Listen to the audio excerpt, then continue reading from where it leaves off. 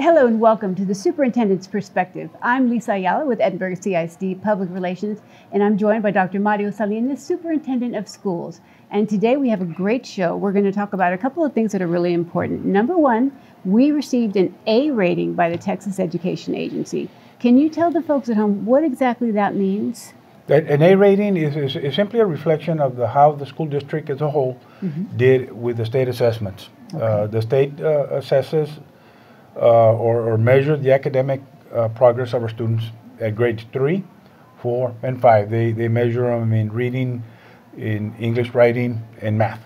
Okay. And then they and then grade six, seventh, and eighth, they measure them for progress in reading, writing, and math.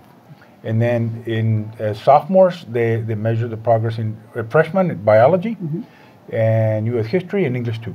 And this is something that is. And algebra. And algebra. And this is something that's prestigious. Not everybody gets this. No. I mean, that's why this is celebrated and why one of the reasons that we're, we're so proud of our district, especially. Many, many of our campuses received A's, but as a district, mm-hmm. we received an A. C- cumulatively, if the district got a 90, a 90 or better, mm-hmm.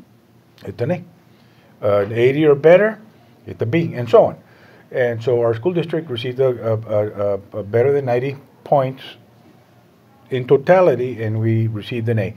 One of the few uh, school districts in the valley mm-hmm. to, to get an A. Most of the student, most of the school districts in the valley got a, a B or a C, mm-hmm. and we were we were in the minority at Mercy ISD. Right. There were other school districts, but, sure. we were one of them.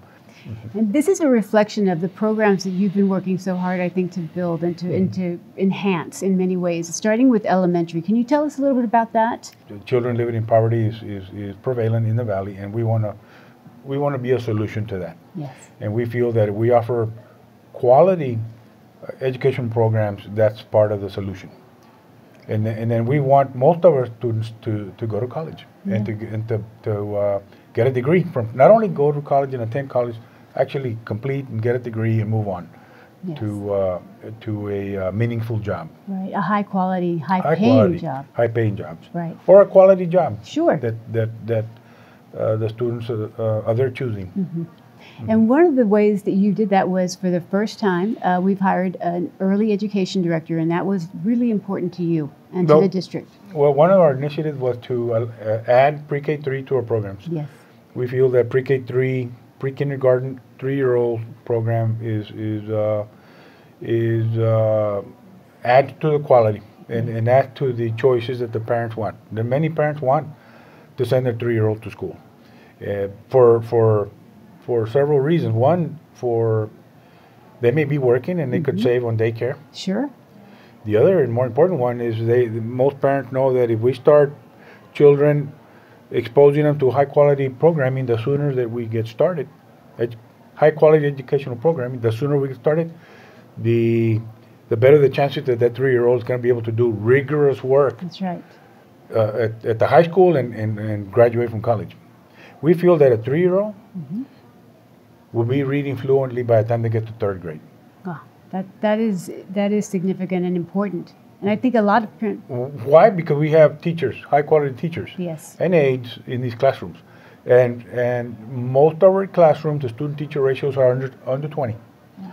which we feel is, is ideal environment for for a, a three year old program. Mm-hmm. Now, on top of that, we added a, a director of early childhood programming. We've never had a director for early childhood. We have one now right. in Edinburg mm-hmm. to help us with the uh, streamlining of the resources to the campuses and to help us with the director helping the principals address the needs of the of the early grades. Right, the curriculum and everything they got pre-K going. 3 mm-hmm. pre-K four. I'm sorry, pre-K three, pre-K four, kinder first and second. Right.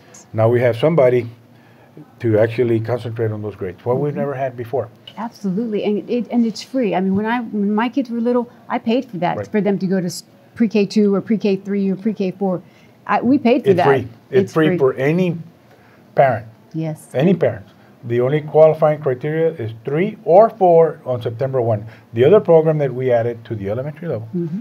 is the after school program. Yes.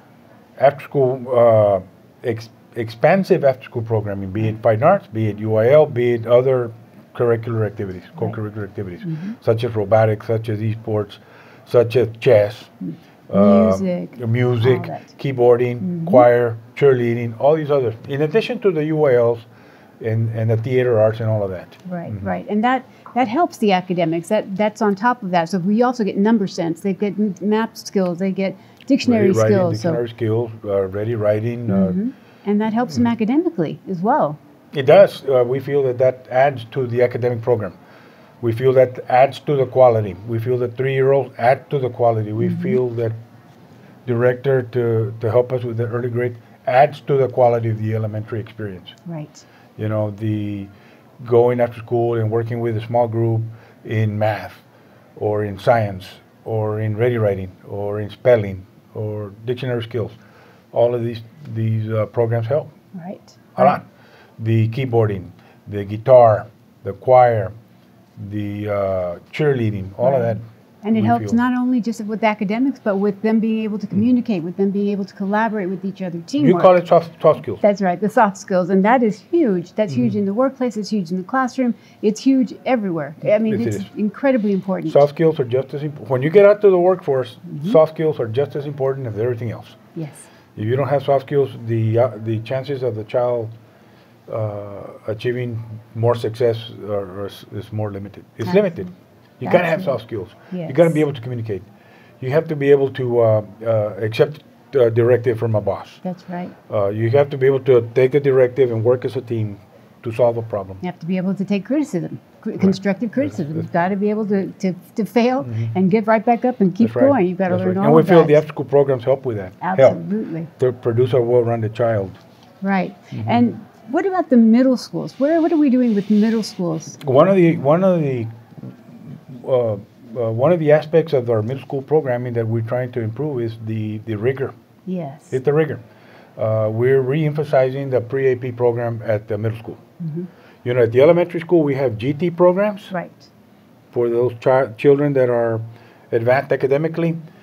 When they advance to the middle school, we we we no longer call them GT. We call them pre-AP. Pre-AP. pre-advanced placement students, and it's more in- inclusive than the GT program at the elementary. So one of the initiatives is to retrain uh, our teachers in the teaching of pre-AP classes. In fact, we made it a, a rule that you could be teaching a class labeled pre-advanced placement math, let's say for example, but you've never been to a pre-advanced placement training. Yeah. How valid is that? Oh, that's going to be, you're right. No, that was definitely important. So we, we told our principals, if your teachers are going to be teaching pre-advanced placement, they have to get trained Be- through a uh, summer institute. At, at uh, most colleges teach Yes. uh, these these programs. Okay, awesome. Now, and then from the middle school, that feeds right into the next level, I guess, which is high school. And in AP classes, is that where they're advanced headed? placement. An, an AP, an, an advanced placement class is a college level class being taught at the high school. That's what it is.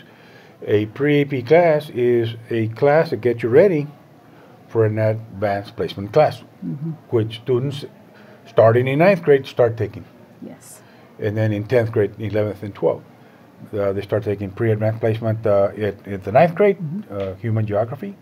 Then they move on to pre-advanced place, uh, actually advanced placement pre-calculus, Right. then calculus, and then you got advanced placement chemistry, uh, English. advanced placement English language, English literature, and on and on. Almost all classes. Yes. There are many advanced placement classes, and we teach them all How about that? in Edinburg. So at the high school, just like at the middle school, if you're going to be teaching a pre-AP class or an advanced placement class, guess what?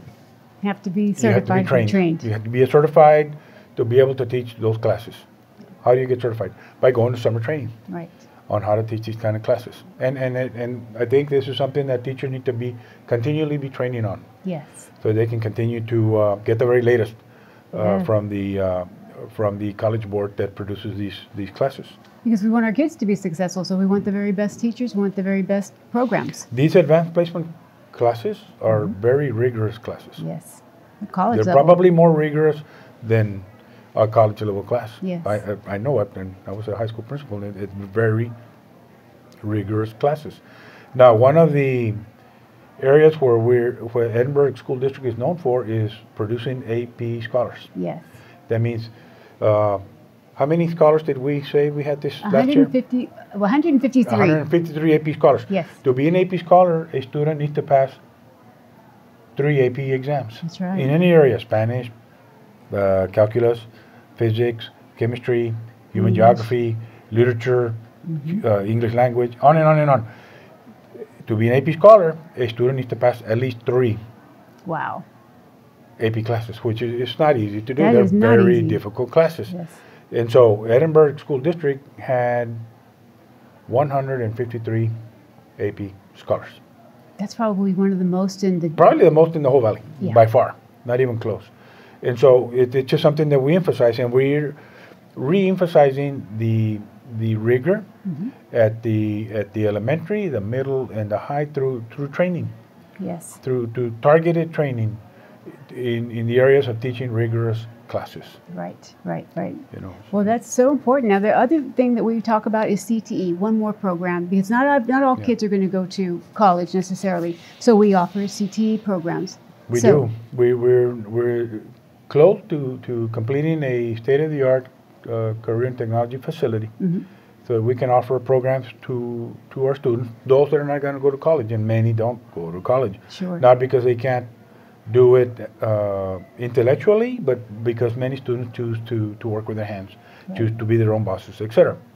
And there's uh, high quality programs that, that we're going to offer uh, air conditioning, Welding. repair, welding, barbering, cosmetology, et cetera, etc. cetera, et. These are high quality programs that many students uh, choose to, to follow. Construction trades, etc. Right. All fields that are in, in demand. Yes. And they're high quality and high paying jobs. High paying jobs, high quality jobs, uh, very attractive to many students. Uh, computer science, computer Sure. cybersecurity, et cetera. Yes.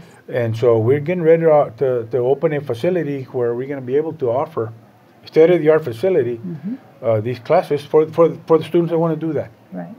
So You know, have, have something for those students that are not going to go to college, not because they can't intellectually, because that's not, not that's not their cup of tea. They Right. want to do something else. So it's about choices, like you said, having Choices. the very Quality best choices. quality choices, the very best programs starting from the very beginning, from pre-K three, middle, high, High. and then even CTE. So that's that's amazing, and we Mm-hmm. continue to work to improve all of those programs. Improve the quality of our programs. Yes, absolutely. All right, well, that's our show for this week, and we want to thank all of you for joining us. And we have something, of course, very exciting for you Mm-hmm. next week as well. Again, thank you for joining us this week on the Superintendent's Perspective. And as always, stay healthy and stay safe.